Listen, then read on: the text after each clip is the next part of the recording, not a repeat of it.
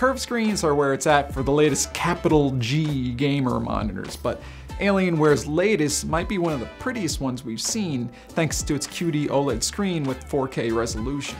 We're only at the start of 2024, but already the CES is going heavy on the 4K QD OLEDs. Alienware's latest 32-inch monitor is promising a 240Hz refresh rate and a 0.03 pixel response time. Are QD OLEDs better looking than your regular organic screen? Yes, marginally, a bit. Well, the difference is based on using quantum dots that sit on a separate layer in front of the OLED screen, illuminating pixels in such a way that should promote better quality than normal.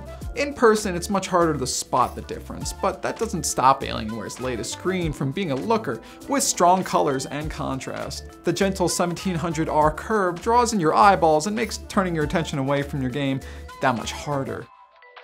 Alienware is also debuting a new 27-inch flat QD OLED that pushes frame rates up to 360Hz at 4K. It's also a strong contender, but let's face it, after a certain point your ultra-high refresh rate just doesn't mean you'll wreck your opponents in Counter-Strike.